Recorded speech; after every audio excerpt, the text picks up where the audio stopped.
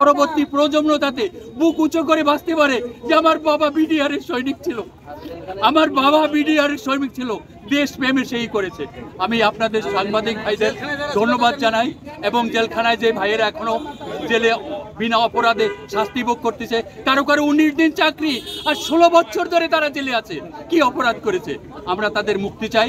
একই সাথে সাতান্ন জন চৌকস সেনা কর্মকর্তাকে যারা হত্যা করেছে, তাদের দৃষ্টান্তমূলক শাস্তি চাই। যেটা পিলখানায় কোনো বিদ্রোহ হয়নি, এটা এটা সম্পূর্ণ পরিকল্পিত একটা হত্যাকাণ্ড যা যদি কোনো ইউনিটে কোনো ব্যাটালিয়নে যদি বিদ্রোহ হয়, আসলে প্রত্যেক সৈনিকে জানার কথা ছিল। কিন্তু আমরা, কেউ আমরা জানি না যে আসলে কেন এই হত্যাকাণ্ড হয়েছে।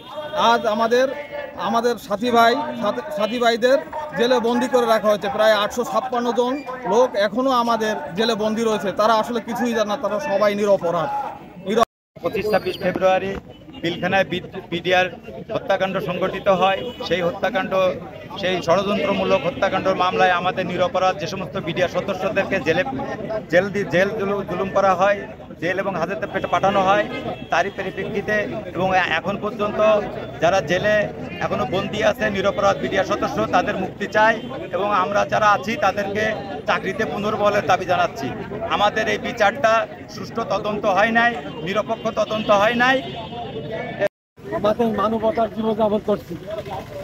দীর্ঘ পনেরো বছর পার হয়ে গেছে স্বৈরাচার সরকারের জন্য আমরা রাস্তায় নামতে পারি নাই।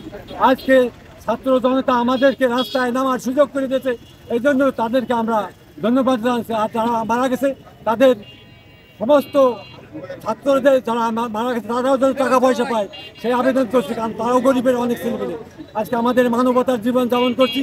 স্বয়ং শেখ হাসিনা থেকে আমাদেরকে ওই বিদ্রোহ দেখিয়ে হত্যাকাণ্ড করে আমাদেরকে জেল হাজত খাটায় আজকে আমাদের ছেলে মেয়েদের খুব কষ্টে আমাদের জীবন আছে সুস্থ জীবন যাতে ফিরে পায় এবং চাকরি যাতে ফিরে যায়।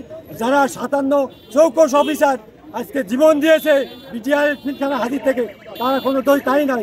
তাদের বিচার সহ জেল মুক্তি সমর্থনের জন্য আমরা কামনা করছি। এই আমার আবেদন। বিডিআর হত্যাকাণ্ডে আমরা যারা নিরপরাধ বিডিআর আছি, আমাদের নিঃস্বার্থ মুক্তি দিয়ে আমাদের পুনরায় চাকরিতে বড় করা হোক।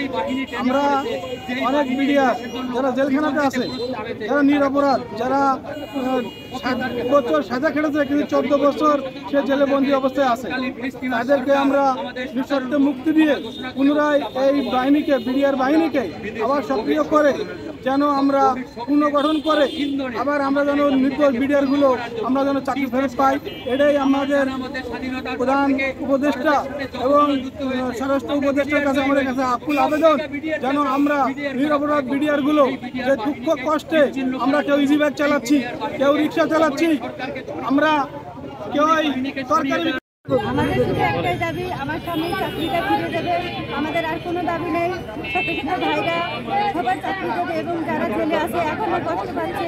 বাবা মা পাচ্ছে বউ ছেলে আছে তাদের ছেড়ে দেওয়া হবে এটাই আমাদের দাবি। সরকারের কাছে বা আপনাদের কাছে আর কিছু চাই না। আমাদের এই দাবি মনে অনেক কষ্ট আমার স্বামীর সাথে